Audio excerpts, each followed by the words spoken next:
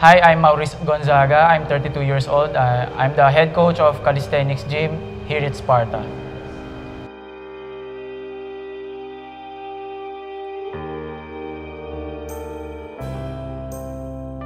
Uh, una, skinny fat, like 160 pounds.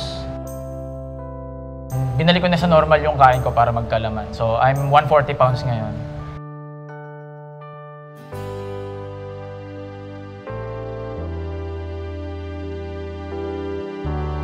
My, my mother passed away 2012.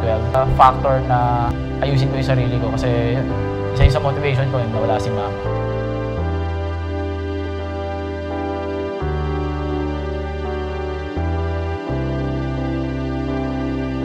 Siyempre lahat naman nag-start sa progress.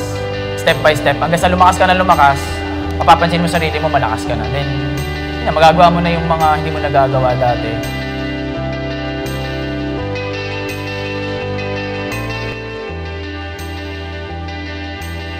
Ganun din naman yun eh. Never give up, don't quit. Keep pushing, push yourselves. Pinagsama na yan sa lahat sa isang hashtag lang, motivation.